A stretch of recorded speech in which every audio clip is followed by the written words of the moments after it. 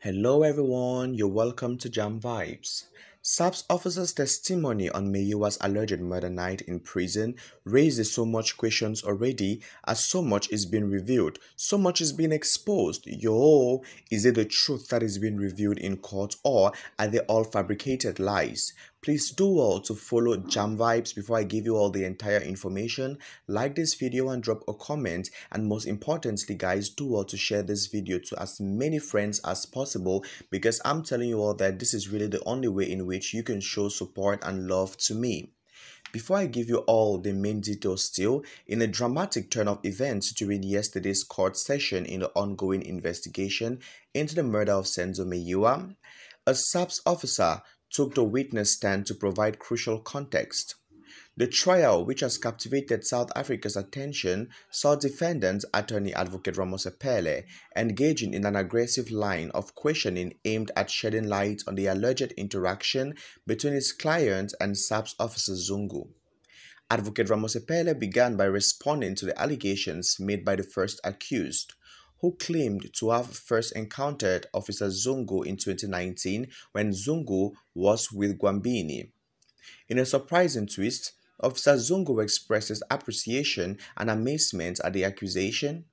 The witness then offered insight into the purported relationship between accused 2 and Officer Zungu, emphasizing that accused 2, unlike the others, shared familial ties with the Tanzi family, casting doubt on the evidence of their familiarity. However, the relentless questioning continued as Advocate Ramosepele disputed the whereabouts of accused 1 and 2 on the tragic day of October 26, 2014. Accused 1 had claimed he was working in Calvertonville and never visited Johannesburg, but Officer Zungu contested this, stating that he had met accused 1 in Vosloorus on that fateful day and this caused a huge stir already in court. Both accused 1 and 2 have vehemently denied completely with their utmost full chest any involvement in Senzo Meyiwa's departure from this world and everybody is left in shock why Officer Zungu actually said something as such that literally they were at a hostel in Vosloorus that fateful night. Officer Zungu, when pressed, reaffirmed his position, stating unequivocally that he will never lie about their involvement or fabricate evidence already, given to the fact that he has nothing to benefit beyond all what is ongoing already. All he wants is just to seek for the truth and nothing but the truth. The courtroom was further electrified as Officer Zungu discussed his conversation with Warrant Officer Makubo.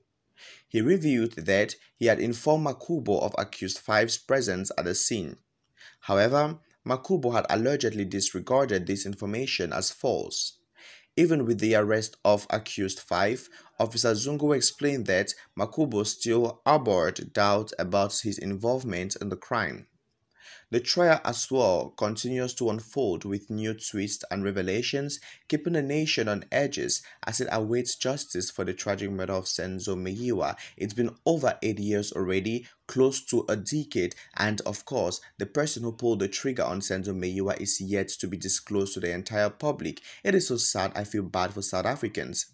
The credibility of Officer Zungu's testimony and the complexities of the case remain central to the proceedings as the court endeavors to uncover the truth behind the high-profile case. Officer Zungu at some point even revealed that these people, on coming back from where they actually went to, told him with almost conviction that Senzo Meyiwa is no more. In doubt, he immediately rushed to the socials to check if the media already has it, and to his greatest shock, the media hadn't posted it yet. So he was left in disbelief based on what he was told.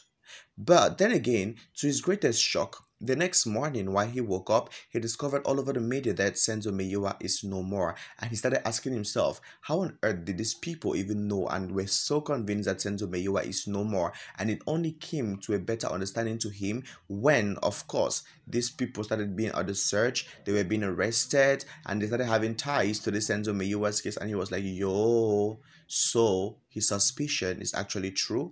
Anyways, guys, you all tell me in the comment section what you think about this. I love you all so dearly.